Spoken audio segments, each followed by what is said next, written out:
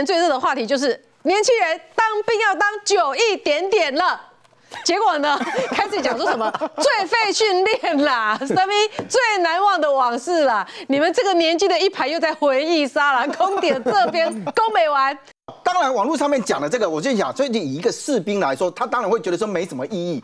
比如说呢，最费第三名叫做背诵报告词，例如单兵注意，哎，注意，好，士兵这时候要开始附送。抬头观察，由左至右，由右至左，由近而远，反复观察。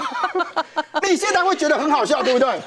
你会觉得很无聊，对不对？但是我跟你讲，像这种训练基本上很简单，它就是你在战场上面的时候呢，你如果遇到敌前状况不明的时候，你要确保周边是安全的，你就简单的做，左边看看，右边看看，前面看看，后面看，就这样而已。可是他为了要让你记得这些动作，他就把它写成文字，结果很多人就讲说，哇，这刚。你不会再滚回细体啊？你知道？太无聊了。我跟你讲，甚至还有干嘛？你知道？还要背诵，背诵完之后还要默写，真的这个才厉害，你知道吗？你看老兵一句话突破盲场，开战你就秒死了。我现在给 Q 一个画面给你看，我跟你讲，包敬烈刚刚讲，哇，好有趣啊！不是好废就对了。看一下，看一下。请班长以火力掩护我。好，我以火力掩护你。请林兵以我力掩护我。好，我以我力掩护你。会这样吗？那，tempo 有够慢。而且其实你这样看哦，他不止在讲，他其实有动作。对，所以他其实有动作在那里做，所以他其实是两个相辅相成啊。但是我也必须讲哦，因为到最后时候就有一点变成怎样，你知道，就有点诶吹毛求疵了。他要求你什么都要背啊，动作这个跟着做，所以就变成这样，有气无力的。我怪狼公开战，我手就马上秒死了。第二个最废的第二名是什么？你知道？我跟你讲，这个其实是很多人不愿意做，所以把它当成很废，叫做战术行军啊。而是休天嘛。哎，我下面我讲很简单，什么叫战术行军？你知道就是呢，今天基本上你单兵应该负责什么，你就给我背着什么在身上。步枪兵你就带着步枪，然后呢还有背包，另外水壶啊要装满水，然后这个钢盔带着，现在还要带防弹，呃有的还要穿防弹背心，你就开始行军。嗯。所以呢，有些人就觉得说，嗯，啊这我下面难呢，刚刚冒着的物件行路行到遐里哪有什么技术可言？你走走看呢。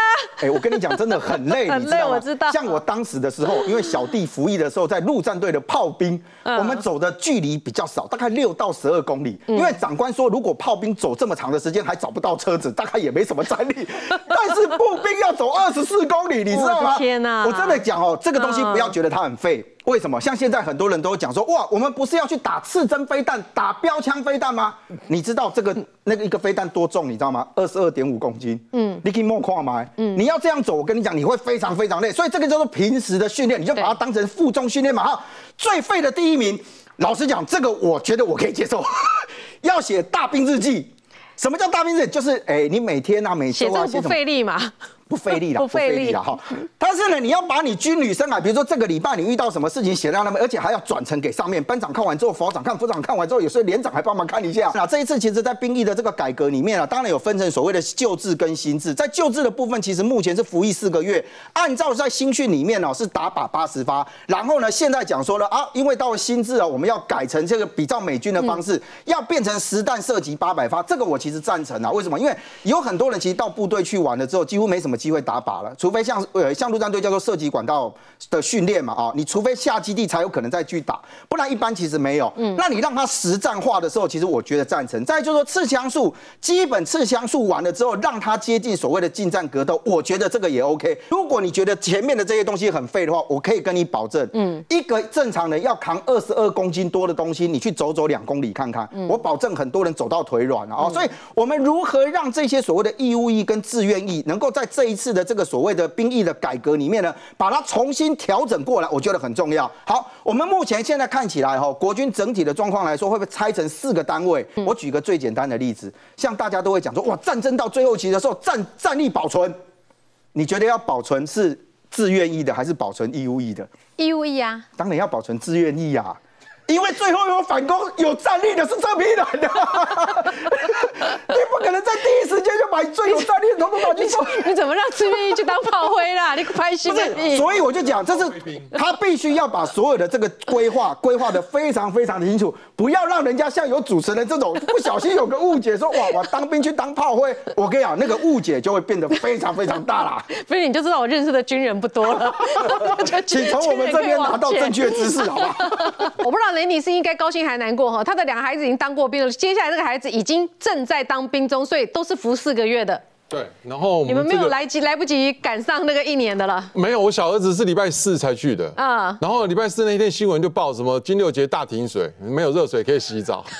他就在金六节。对，他们的那一批很多人，台北市的兵，天气又那么冷，去什么？对，你有很舍不得吗？家长就打电话去抗议，我是没有在偷笑气候，超你给，超你，不赶紧超点。好，我先讲为什么，我先讲为什么。嗯，我送我儿子去，他现在都在那个水源快速道路底那边集合，那个有兵役中心那边集合，然后呢游览车再。去金六节，然后呢，我儿子一上车呢，就是干嘛？就要划手机，嗯，然后一下子在那边哭，然后一下子在那边笑，干嘛？现在有当兵大最怕是不是？不是分手潮，怕兵变，四个月不是四个月就要怕兵变。对呀，四个月现在讲说改成一年哦，大家哀哀叫，那一年还得了？可能有人当然兵变好几次。好了，然后呢，四个礼拜。所以你说你的儿子边哭边笑，是因为跟女朋友视讯，是不是？对，这边这边传简讯，现在他们就是用手机。好了，然后结果呢，连四个礼拜哦。以前我们是当兵的时候，就看到火车站啊，大家那边依依不舍啊，然后这边 kiss bye 啊，抱在一起。四个礼拜，我真的就在那个门口就看到好几对这边抱着那边哭哎，四个礼拜，然后不是去，还马上就要过年，还可以放年假回来，所以他们这个冬天当兵其实蛮爽的。你是不是觉得很摇头？就把你跟他讲啊？好，这个不够扯。嗯，我那个二儿子跟我讲最扯的。他说啊，他进去第一个礼拜哦，手机都不能用，因为现在的小朋友太依赖手机了。好，包括跟女朋友跟谁干嘛的，每天就那边敲敲敲敲，在上班也是一样啊，就坐没十分钟二十分钟又拿来敲一下，没有手机就会死掉，这是第一个，对不对？他说哦，才进去第一天而已，当天的晚上就听到呢，很多人躲在棉被上。棉被里面哭，嗯，你没办法想象吧？我们那时候当兵，也有人躲在棉被哭。然后那一天的晚上，我还记得，连的中山市啊，全部都是什么衣服啊，这干嘛要分装备嘛，对不对？嗯，然后已经到五点多要吃饭了啊，哇，天上下雨。我们的餐盘，我们就拿小板凳，一个人一个小板凳当桌子，再连集合场，然后呢餐盘，然后天上下雨哦，餐盘打出来菜里面全部都是雨水，是泪还是雨？不是，当然都是雨。然后呢，泪那一碗白饭里面才是泪，所以呢，真的那一天晚上真的好多人就在哭。可是我觉得现在并没有这么夸张，你知道吗？好了，那我现在讲了，就是说他们四个礼拜哦，其实前面抄你抄一个礼拜之后呢。这个国军哦，因为招募招兵很困难，然后他们就会从这个时候呢开始就略施小计，你知道嗯，那个他们就开始先抄哦，就威吓你呀，干嘛？就觉得哇，他们好辛苦。来，我跟你讲，活不过四个月了。对，没有，那时候才一个多礼拜就开始，一个多礼拜开始就洗你了，就跟你讲说，哎，你只要签下去。从今签下去以后呢，你就跟我们这些在抄你的班长一样，你就是我们的学弟，你呢就是未来的这个士官军官。先放荣誉假，对，先放荣誉假一个礼拜，你就不用在那边这边抄，抄的跟狗一样。肖哥他厉害的对对对对对。然后呢，如果你真的觉得 OK 的话，真的暂时对你抄的部分呢就不会那么的紧。然后呢，最后呢，这个班长会回陪你回家，嗯，然后呢，这个签这个父母的同意书。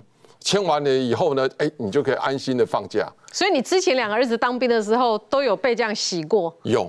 这所以呢，这个募兵的手段，真的班长都来我家，我说哦不行哎，我们家哦这个这两个这个儿子哦，如果如果你两个儿子都被洗了，都带着班长要到你家要你签同意书了，真的，那你两个儿子怎么这样撑不住？不是撑不住啊，都被洗脑了。我觉得他们很厉害，我就觉得报效国家是很光荣的。对，然后他跟你讲哦，因为只一签下去就当四年，对不对？嗯。然后四年呢，你吃国家的，住国家的，我跟你讲，你就可以存一百万。然后呢，出了社会四年之后，你就有一笔创业金。嗯。哦，你想要干嘛呢？就开小那个泡沫红茶店、手摇饮料店，哎，有钱呢。所以他们一签下去，一个月变多少钱？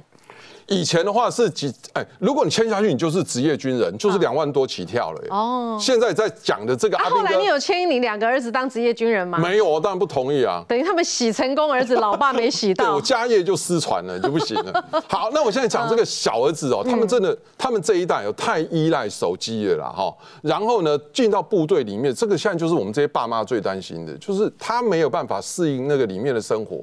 所以呢，四个礼拜居然我儿子跟我讲，这里面也有人跳楼自杀。金六杰的营区不高呢，只有二楼，二楼跳还不会死，你知道，我就不知道在跳什么意思。所以真的受不了，其实就受不了那样的方式，因为现在其实爸妈太疼小孩，嗯，哦，所以导致以后呢，他们进去以后呢，但是我觉得结论就是去了以后，你真的过那样的生活回来哦，我们这些爸妈会比较好教。对不对？对，可以让他吃一点苦头。宪哥昨天就有讲啦，宪哥说，一几个亲戚哦，啊，你演礼拜啊，你讲你的亲戚去这边做做，我友好的对吧？对啊，当然拢 拢会叫伊妈妈，第一个甲叫伊妈妈，都惊到都早有王的讲受惊。回家第一件事情先折棉被。你回家第一件事折棉被。很多都会这样啊，走走路转弯会转直角，是不是？我放假回去洗衣服，放假回去洗内衣裤、洗衣服，被我妈骂，你干什么？而且。早上起床折好棉被之后，还要先叫爸爸妈妈来看，说你搞忘记你 boy，有效期限半年，半年后被打原打回原。我中心出来去我朋友家哦，那一餐吃了八碗饭，外面的饭跟菜太好吃了，八碗呢，真的八碗，假个无崩。